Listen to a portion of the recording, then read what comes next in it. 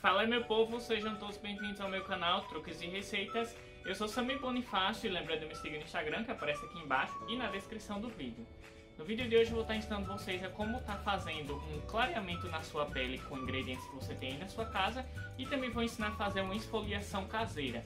Tudo isso só com dois ingredientes, então vem comigo e vamos para o passo a passo. Para fazer essa receita, isso aqui é arroz que eu já peguei e triturei. E a gente vai adicionar uma clara de ovo a clara do ovo de galinha caipira que você tiver aí, ou aqueles de granja, enfim. E vamos bater isso aqui no liquidificador. Se você gosta do tipo de conteúdo que eu faço aqui no canal, já deixa seu like e se inscreve aí no canal. Clara de ovo e, e o arroz triturado no liquidificador, a gente vai bater isso aqui até que fique bem homogêneo. Depois de bater tudo, ele fica assim por causa da clara do ovo que ela tende a espumar e ficar mais consistente. Aí você tem que bater tudo até que fique bem homogêneo. E é só colar numa peneira pra gente usar no rosto. Se você quiser mais receitas como essa, lembra de estar deixando aqui embaixo nos comentários. Se aqui na peneira, e uma coisa que vai acontecer com vocês também depois de passar na peneira, é que sobra um pouco de grão de arroz aqui que não foi totalmente triturado. Esse grãozinho de arroz, use na sua, no seu rosto ou no local onde você quer clarear para esfoliar. A gente esfolia primeiro com esse grãozinho aqui e com essa parte que está embaixo que a gente coou, a gente vai aplicar na pele depois da esfoliação e vai deixar agir até uns 20, 30 minutos. Eu tenho várias receitas aqui no canal onde eu uso a gema do ovo para você não estar tá desperdiçando, já que você vai usar a clara nessa receita, a gema tem outras que eu já fiz aqui no canal. E todas vão ficar sugeridas aqui em cima nos cards e aqui embaixo na descrição do vídeo. É só dar uma olhada e aproveitar essa receita. Já voltei, eu já tô com a receita aqui e ela fica bem esbranquiçada, bem homogênea assim, depois de você bater os dois ingredientes, que é a gema, a clara do ovo e o arroz, aquele restinho de arroz triturado. Então galera, pegou aqui, pode tá aplicando na sua pele, lembrando que eu já fiz a esfoliação, a esfoliação com aquele restinho do arroz que fica. Só fiz pegar e passar na pele e depois eu passei água e o sabonete.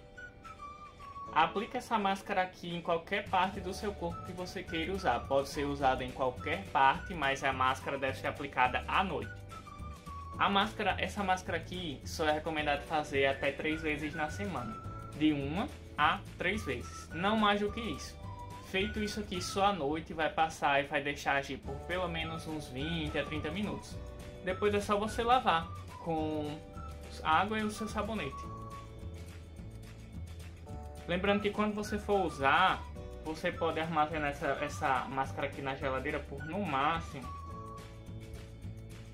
48 horas. Porque não pode usar, tem que ter um intervalo de 24 horas quando você for usar. Por exemplo, usa na segunda, na quarta e na sexta-feira.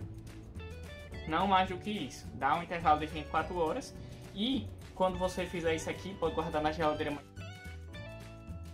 duas aplicações pode usar em outras partes do corpo, como pernas, é, joelho, virilha, axila.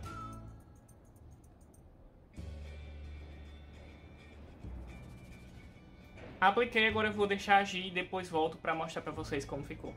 Galera, depois dos 30 minutos a máscara ela seca, ela fica bem grudenta, tipo quebradiça e dificulta até falar. Aí agora é só lavar. Se você for puxar em algumas partes, talvez saia, mas depois disso, eu venho para mostrar o resultado para vocês.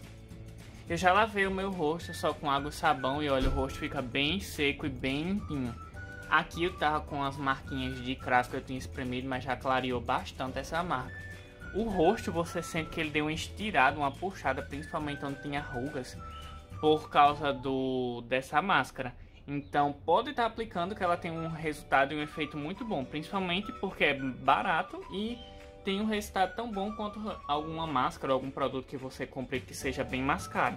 O vídeo de hoje ele é até aqui, se vocês gostaram deixa o like aí, se inscreve no canal, ative a notificação para não perder nenhum vídeo novo. Até o próximo vídeo, valeu e um beijão.